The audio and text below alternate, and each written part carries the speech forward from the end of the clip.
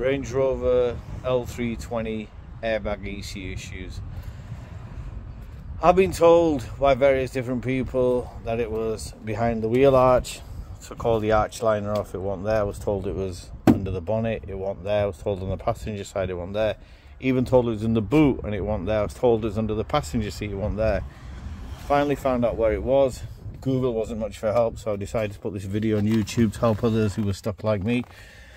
In the UK, it's on your driver's side, so you have to take this cover off, which is held by two Starbit screwdrivers. You pull that trim off. And I don't know if you can see, but underneath here, that's where your unit is located. It's way up here. It is literally just up there. I don't know if this camera is going to show you.